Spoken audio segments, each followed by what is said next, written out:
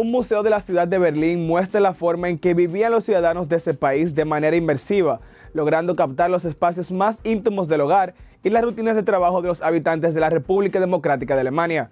Ampliamos todos los detalles de la siguiente historia con la agencia EFE.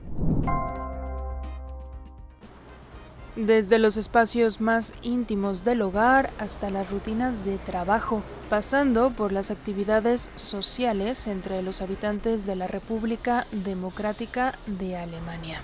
Este museo en Berlín muestra de forma inmersiva cómo era la vida del país germano en el lado este del telón de acero que separó dos mundos entre 1961 y 1989.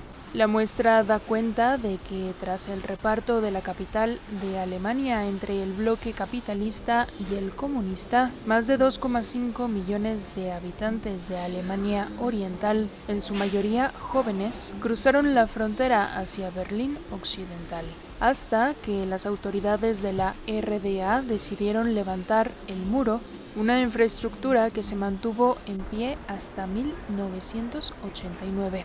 La exposición recoge también la censura, mostrando una serie de libros prohibidos, encarcelados de forma metafórica, o una réplica real de un centro de espionaje del Ministerio para la Seguridad del Estado, más conocido como Stasi.